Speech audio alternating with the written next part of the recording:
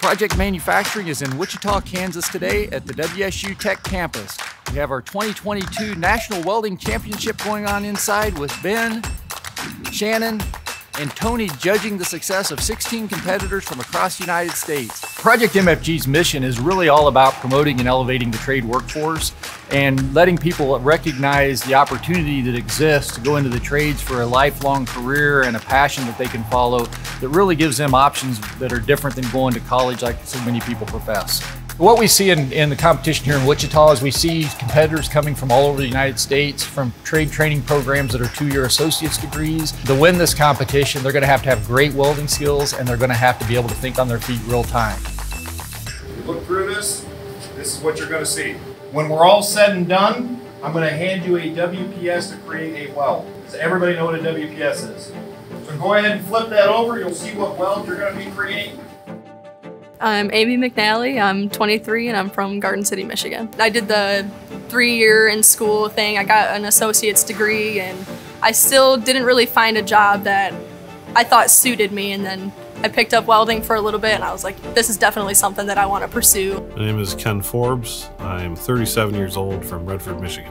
I was a swim coach for 17 years. Every athlete's different, so I would have to pay attention to every little nuance. Attention to detail is crucial in the trades. You have to be able to to get the job done in a good, reasonable time, good quality, and thoroughly, so you don't have something fail on you later on. And that's in all trades. My name is Monique Miller. I'm from Danville, Virginia. I am 23 years old. Prior to welding, I was a, a dental assistant, and then I was like, I do not like this. and then I just so happened to one day be around like a lot of guys and they were welding and I tried it and I was like, you know what, this is fun. It sparked it like my whole future, like what I'm gonna do. My name is James Connis, I'm 29 and I'm from Clarksville, Tennessee. Prior to welding, I was a carpenter's apprentice and I helped build houses. I've only been welding for a little over a year. It uh, feels really good qualifying for this competition. It kind of like makes me feel better about my welding skills. As I came here, I kind of noticed a lot of people have uh, varying ranges of experience, quite a few more years of welding than me. So I'm just trying to think if my skills are going to be enough to compete against them, but hopefully I'll be okay.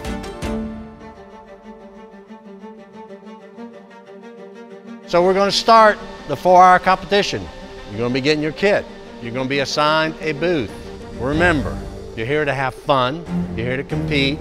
You're here to walk away with maybe some money. But the most important thing you're here to do is be safe. Okay, I'm gonna sign your booth. Number three.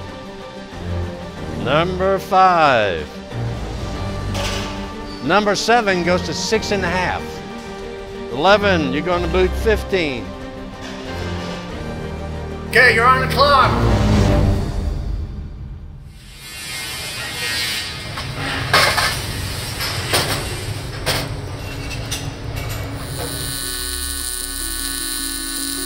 So having popped into the booths and looked at the anxiety level of some of the students, to win today, you really have to keep a cool head.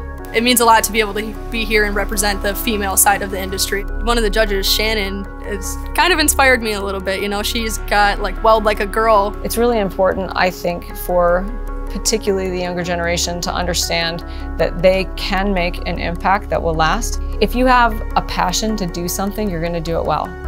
So you're just gotta have someone ignite that spark. Well, when I'm in my booth, you know, I'm sitting there thinking like, gotta take a deep breath, I'm gonna relax, you know, and just do the thing that I do, start welding, so. Comfort is key when it comes to welding. If you're not comfortable, it's, it's not gonna come out, like your weld is not gonna end up looking good. Something goes wrong during welding, I just try to think of backup plan number two, three, and four. I'm pretty sure I welded one of the parts like backwards. so I had to like take it off and then do it again. So I just got to be like, all right, pinpoint where did I mess up at, take my time, and then work around it, get to it.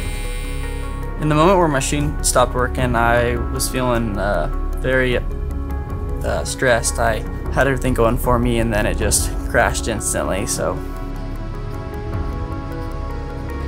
I just gotta keep my head down, know how to know what I know how to do, and just do what I can do, you know. So I'm in my booth putting together the base part and I notice I have the top piece on upside down. So I have to take my uh, slag hammer and jam it in the crack between the top piece and the, the walls so I can pry it off and then I can flip it over and tack it back on welded. Five minutes. You know, as we get closer to that final moment, being able to stay calm in a pressure situation is going to be really the key. I ran out of wire there at the end, so had to stop and pull the whole welder out and try to switch out wire. Had to have somebody come help me. I was feeling panicked because in that moment I was like, this is just eating up the clock for me. And my skills were there. I knew what I had to do. You know, it was just a matter of racing the clock to try to get it done.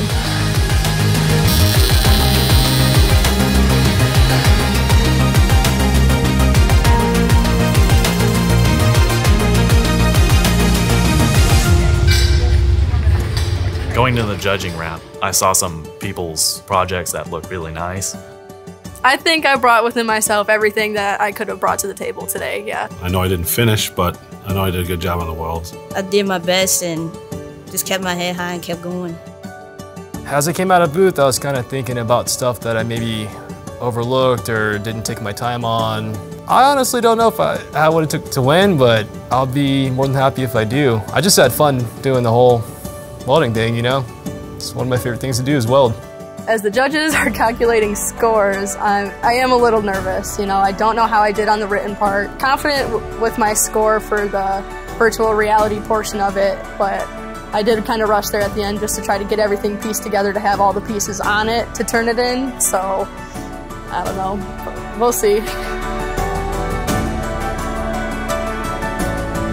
Fantastic student welders. They, they are amazing. At one point, I had 55 submarines on my desk lined up looking at the different quality of welds. There are competitors in our competition today that are ready to go to job and start, start working tomorrow. You guys did great. I know everyone tried really hard. We had some that held perfect pressure too, so that's really encouraging. Some of you had some hiccups along the way, but hopefully they were resolved, and so uh, good job. All right, first off, I want y'all to give yourself a hand. Great job, guys.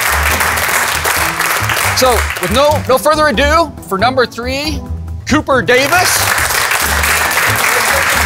Cooper not only demonstrated today his proficiency at welding and the future he has, but he's demonstrated it over time. So congratulations and good job. In second place, Eli Childs from here at WSU. WSU got in the game, and Eli's a testament to what happens when you get in the game. So, congratulations, Eli. All right, so without further ado, we had one gentleman that rocked the house for $10,000 today. So, Mr. James Kahn from TCAT Clarksville. My ears are ringing when he called my name. super awesome. I've never won anything in my entire life, not even a scratch card. $10,000. And I just, I can't believe it. It's awesome. So I'm gonna buy a generator welder, start a welding business. Great job, guys and gals. Great job. Really appreciate everything you did. Thanks for showing up, being in the game. I think every time we have a contest like this, they learn something from being in the contest. If they didn't win, they, they see some of the things that they know they need to do differently. And then when they come back, they're gonna be better and they're gonna be, they're gonna be tougher competition the next time. Who can be a welder? Anyone who wants to. Absolutely anybody girls can do it, men can do it, anybody can do it. You just have to have the patience and the time. So anybody can. As soon as you get that one little feeling, you're gonna keep going. No one does not like that feeling of being successful. Don't be scared to compete. Come in with an open mind and just try your best. Yeah. Follow, like, and subscribe. Project MFG on all the socials.